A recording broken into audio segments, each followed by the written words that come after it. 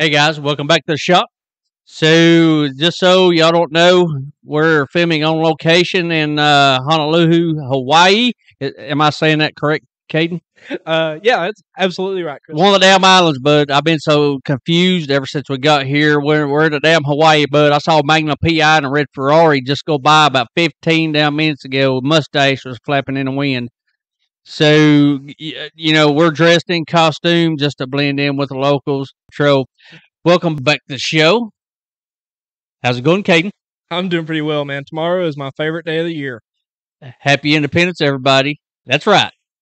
We are celebrating our independence with a good old Russian firearm. You can't get no better than that, guys. But uh but anyway, happy independence. Hope everybody has a safe and wonderful 4th of July this year. Try not to blow your fingers off. I already lost one from last year. Yeah, yeah. Don't blow your fingers off. Don't be shooting bottle rockets at your neighbor's dog or your neighbor's wife. That's not cool. They do prosecute for that. hmm They they can get the upset over that sometimes. Yeah, yeah. Neighbors don't like it when you shoot bottle rockets at their pets Yeah, if uh, or if their get, wives. if they get tired of you shooting fireworks, you'll start shooting your gun up in the air because they didn't mention that. Yeehaw. So, Caden, what we got here today? this is a Mosin Nagant, Chris. This is how we're going to celebrate Independence Day. Uh, you may think With Russian Day- freedom. yeah, American Day, uh, Independence Day, Fourth of July.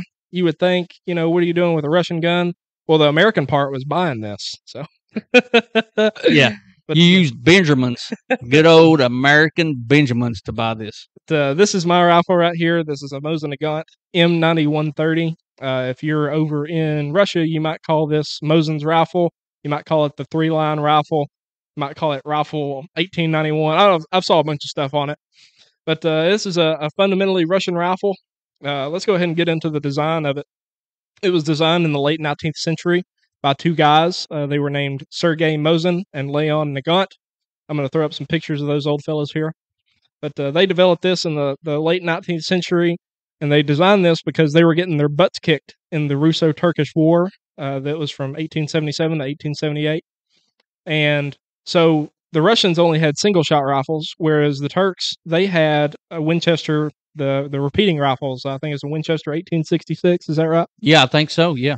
So uh, the the Turks they had uh, the Ottomans, I guess, uh, they had significantly more uh, rate of fire just because they had that repeating carbine as compared to a single shot rifle, and so they ended up with this right here. Yeah. this is the uh, was originally designed in 1891, and it was later improved in 1930. They made a few modifications to that, which we'll talk about. The uh, so this is the M9130. This is the full length rifle version. They made several other versions. Uh, one is like a top 38. It's a shorter carbine. One is a top uh, 44. They make several other versions as well. Like one is the Chinese version. I think they call it like a top 53, maybe. I'm I'm sure I'll put a picture of it up here. Did they sell like the the blueprints or sell the guns to China? And it's kind of like the SK deal. Did they did China end, ho- end up getting hold of the patent and start producing these themselves? Yep, same exact way. Okay. Uh, so produced under license.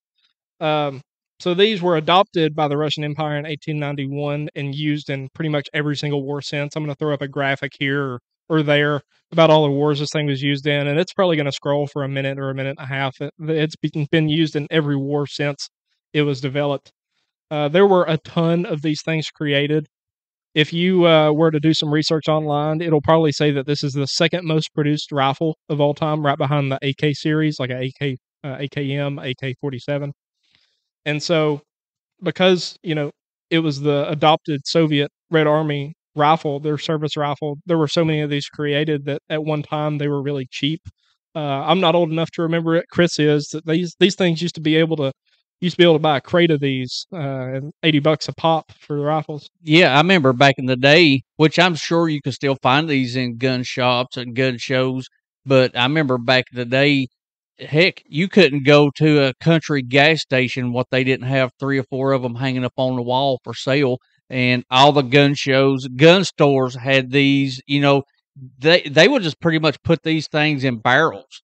And uh, you know, you just pick out the one you like, and you know, gun stores was covered up with these gun shows. You know, back in the day, you know, every vendor there had a selection of uh, Mosin Nagants for for you to choose from, and they was you could pick them up for nothing.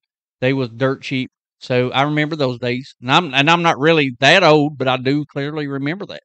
Yeah, it's funny you should mention that. I actually got this one at a gun show years and years ago. Was it in a barrel?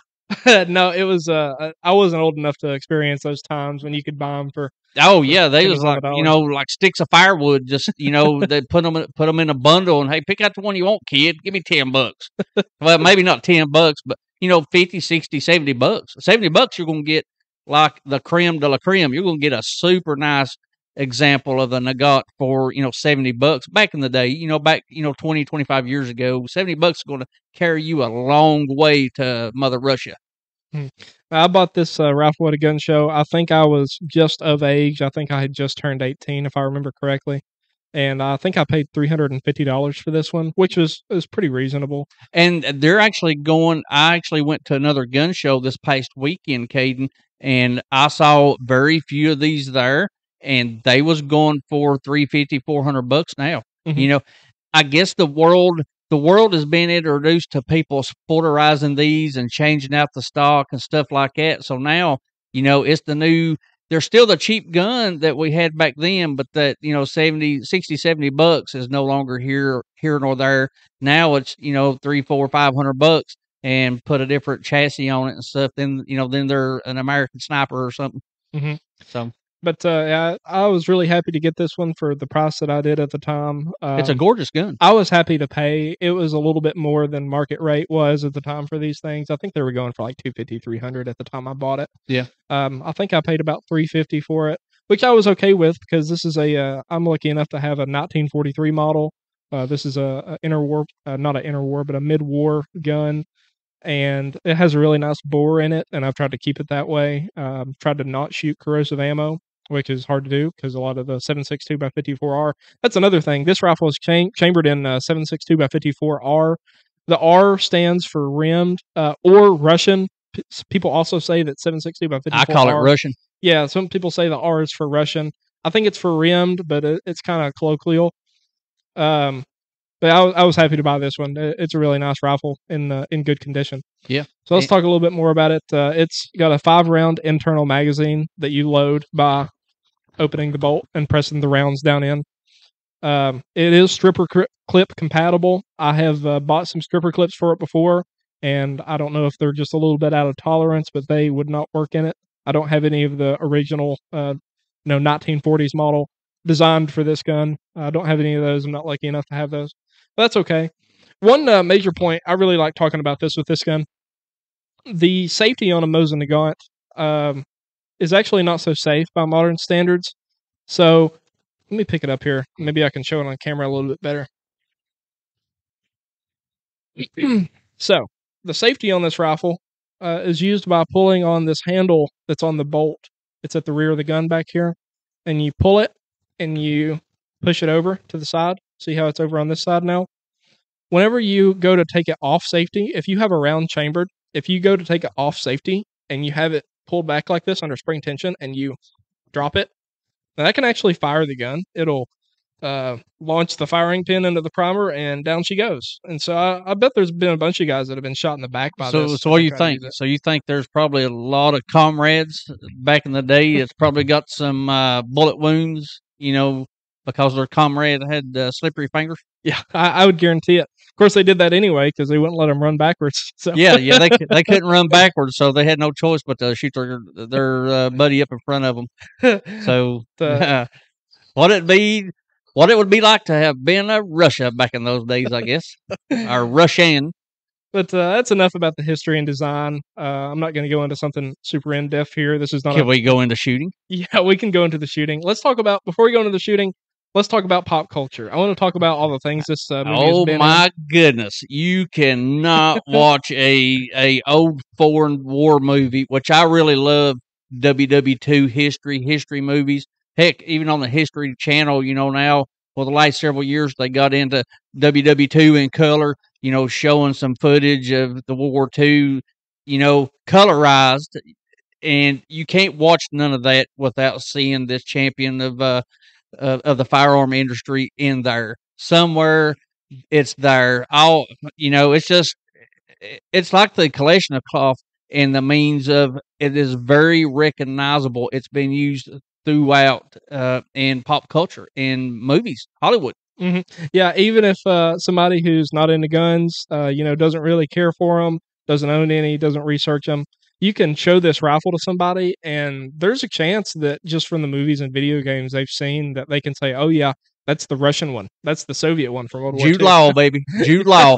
This is this is the enemy of the gate gun, right? yeah, yeah. This is the gun for Enemy at the Gates. Of And- course, you have the sniper variant. and people in their 30s you know if they see this gun and they know what this is you know immediately they're going to go to that's that jude law gun that is the gun from enemy at the gate Yep, that's actually why I bought this gun. I absolutely love that movie. I I have watched it probably a hundred times. yeah he kind of he kind of looks like jude law just a little bit anyway so that probably made you feel uh, more like a like a superhero uh, shooting nazis and whatnot Yeah, absolutely.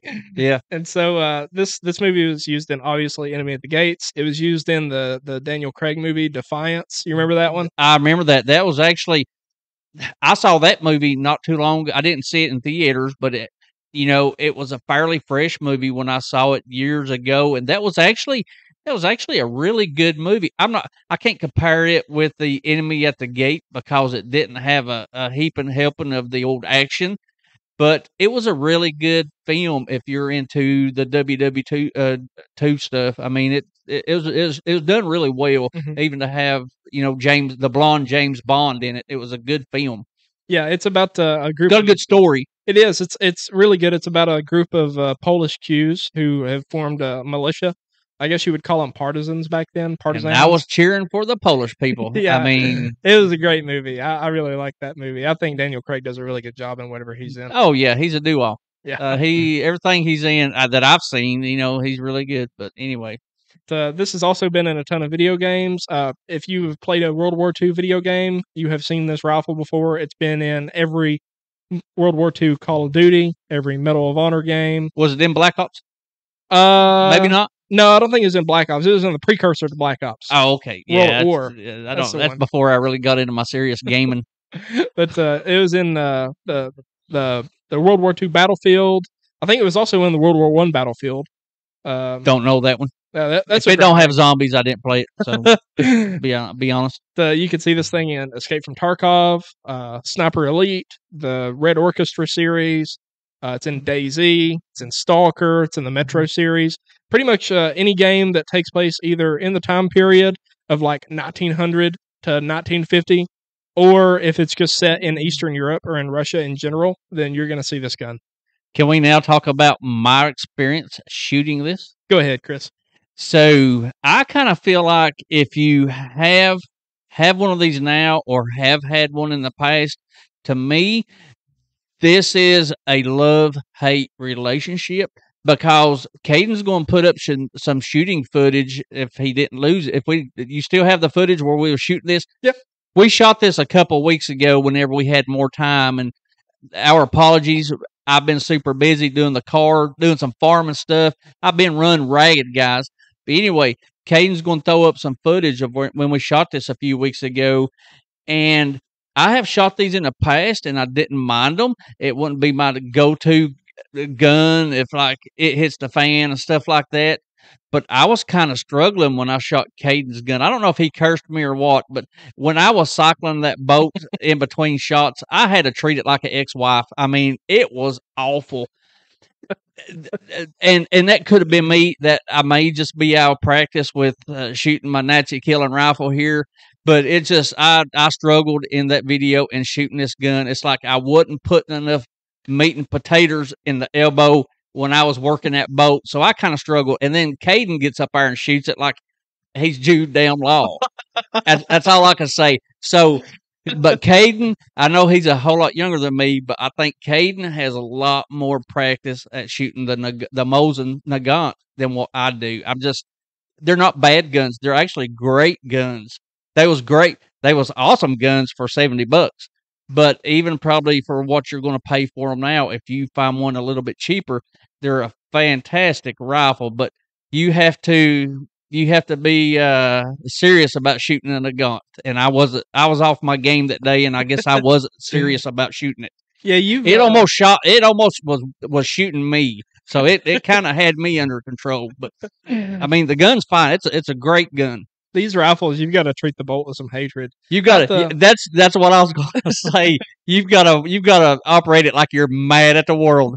That's all I can say. Hey, hey, they're uh, what I call them. What go the the Russians, the comrade, the comrades. They're always mad at everybody anyway. So you really have to have to build up your inner hatred of everything living to operate this gun efficiently. A lot of these guns are That uh, bad. a lot of these guns are shot out because people have shot a couple hundred rounds of corrosive ammo through. and uh, the Hold still, you nasty. the bores, of, shoot you up twixt the eyes. a lot of these are shot all to hell. Sorry, guys. You're great. a lot of these are uh, shot out. The the bore is shot out on them. They're not very accurate. This one is a very accurate rifle. If I was a hunter, then I would probably use this as a deer gun. Um, it it shoots really well. It's it's ninety percent rifle and ten percent flamethrower. if you guys have, if you guys, you youngsters out there that's watching this, if you've never shot a Mosin Nagant, there's ten percent of flame coming out the at the end of this gun, so it's got some flame uh, flamethrower heritage somewhere in it. It's like a it's like a 308, but a touch bigger. I mean, Oh. it's just like three millimeters longer case. Yeah, it's it's it's a fun gun to shoot. I Yeah. promise you, it is. It's great. If you if all you know about these guns is what you read from forums online, if you're one of those guys, you never actually shot one of these things, which is okay. Then uh, you might read about the recoil, and some people say that the recoil is unmanageable. That's not true. It's a full power rifle cartridge. Chris, what do you think about people that say this gun is hard to shoot? I'd let my I would let my daughter shoot it. I mean, if they have trouble shooting this gun, they just probably don't need to be shooting. Now it's a heavy rifle. I mean, I could see like Yeah, the 12 weight of it kinda hold it up or buffers. something. But Yeah, the weight of the rifle itself kind of buffers that, but it does have a little bit of a little bit of heave ho to it in your shoulder when you're shooting it. So Mhm. you can feel it. Yeah, you can you can feel it. A lot of people choose to put rubber butt pads and stuff like that. I won't have that just because I don't want that on my rifle. I wanted to keep it original. What about an aftermarket chassis, like uh, some kind of poly or fiberglass uh, sniper chassis? Would you do that with your gun? No, Chris. I wouldn't. I take back the question. You're not gonna put a Tasco three by nine or No, I'm not going to drill the drill drill the receiver out and put some cheap forty dollars scope on it off Amazon. this would break your forty dollar scope. Is all I'm saying. but uh, it's it's it's a very cool gun. It shoots well. It would. I would like to. I'd like to have some range time with one of the the carbine models, the shorter versions. I think that'd be pretty cool. that would be great. Uh, Mm. Maybe somebody around here's got one. They'll let us uh, do a video with. That would be awesome. Heck yeah! And um, before I forget, I want to get off topic for one second. So I went to the gun show this this past weekend in Elizabethton, Tennessee, to the National Guard Armory. I walked around the entire gun show passing out my business cards, you know, telling people, hey, I do YouTube, subscribe, love you, mean it, all that stuff. And I actually, when I left there, by the time I got home, I had a few more subscribers. Oh yeah. Yeah. How many you talking?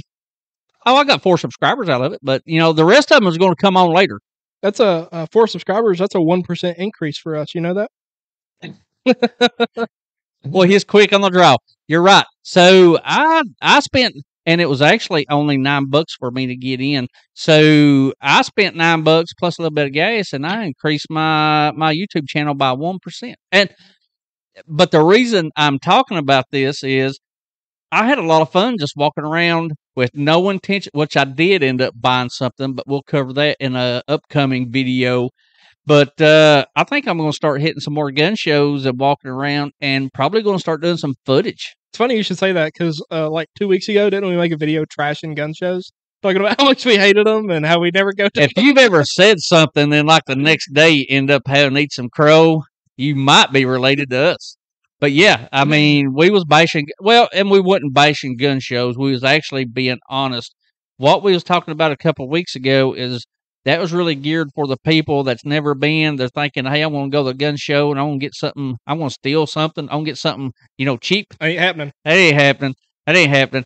Don't get me wrong; they had some beautiful stuff. They actually had probably a lot nicer stuff there than what they did at that larger gun show I went to maybe a month ago. I mean, they had some really rock solid firearms there, some beautiful firearms, but the price, you know, the price, you know, just wasn't there. But I did buy some things, and I'm not. I'll cover that in a later. I'll cover that in a later video. And actually, that guy that I bought the uh, those things from, he subscribed. And if you see this video, thanks for cutting me a deal on what I bought off you. And if you're watching this and wondering if it's you, it is because I only bought from one person up there. I was kind of being cheap. Uh, uh, you know, I went with so much money and I didn't want to lose all that money before I got back home. Oh, it's easy to do at a gun show too. Really easy to do, but uh, keep watching. We're going to do some gun show stuff in the future. I feel it coming. As long as they don't start kicking me out, because like I said, I walked around this entire gun show. I had my business card stuck out, and I'd reach on my business card, and I would start looking at their stuff. So Can you film it? Uh, can you film it? Gun shows? Do people get mad about that? you mighty right. It doesn't matter if they get mad at that. We're going to do it anyway. I'll well, it. I'm going to do it. Are you? I'll do it. I don't. I'm going to do it. Like I said, maybe not to reflect any prices because don't want to get in to try to sell someone else's gun for them. If you're going to buy a gun, buy it from me. uh, but they were some beautiful pieces of uh, pieces of history up there. They was they was some really nice firearms up there, and people by now should know I really like the older stuff. Caden does too. They was some nice uh, pieces of history up there. Uh, Mhm. beautiful, some beautiful guns, and if I'd been a, a lottery winner and had tons of money, I would have come home with a couple old truckloads of firearms. So, but anyway, didn't mean to get off topic. That's just to let you guys know uh, what's coming up a little bit later this year. But uh, let's get back to this trash can gun. What is it you called it? And he Mm. beats me up. He hates when I kind of throw off on it, but it's all in fun because really these are really good firearms. If you can, if you've only got so much money and you find one of these and you could get it at a deal, don't be afraid to take a chance on it because you, I mean, Now that's if you're into like historical guns, military surplus guns. If you just want a bolt rifle, you shouldn't be buying this thing. If you want something just to shoot deer with, then go buy you a Ruger American. I remember growing up. I remember uh, this older guy that I knew growing up. He he hunted everything with this. He deer hunted, and you know he was just a really good shot with it, and that was his deer hunting rifle. Mhm. I mean, it'd be a great rifle for that, but uh, you know, there's no reason to buy one of these if you just want to hunt with it. No, It's a great uh, military Yeah, and this this wouldn't be something to protect your domicile. I mean, you could, but I wouldn't. Yeah. but it's just a great nostalgia piece of uh, you know WW two, WW one history. Uh, but yeah, that's really about all I got for the gun. Uh, I think we're all square talking about it. Uh, again, happy Fourth of July, happy Independence Day. Uh, Happy God of bless July. America. God bless America, everybody, and thanks for watching. Hit the subscribe button. Tell your neighbors. uh, Get them in a figure four, uh, figure four wrestling move or whatever that is. Headlock them. Whatever you got to do. Get your neighbors subscribing. Heck, get your kids subscribing. We're trying to keep it clean on this. Get this your dog channel. subscribing. Get your dogs, just like you do on your taxes every year. Sign your sign your dogs up. But anyway, thanks for watching. We'll catch you mm-hmm. next time. All right, ready when you are.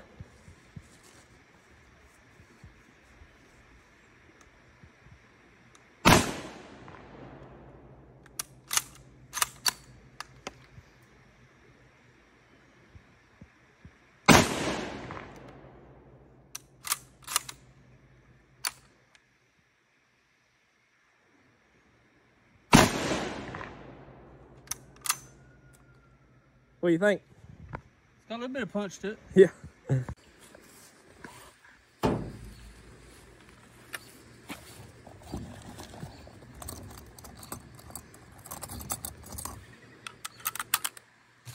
One Nazi. Two Nazi. Three Nazi and four. Yeah, I'll shoot three. Nazis had their gas chamber. We got the Mosin again. Let it rip, tater chip.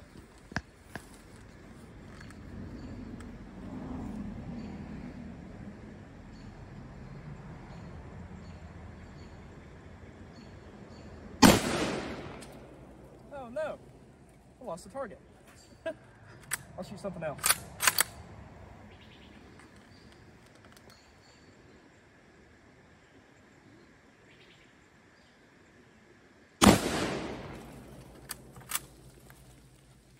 See all the stuff that threw. It hit me right here on the chest. Damn you, you Nazi. Take that.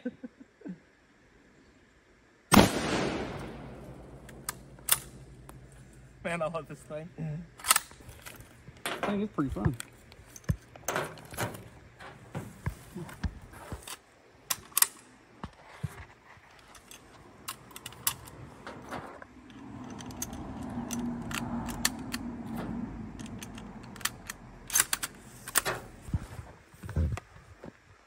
You say about my Jew buddy?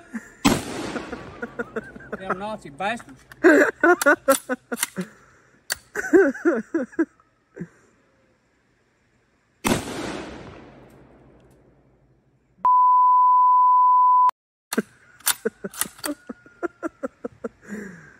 We on the stopper row on you, bud.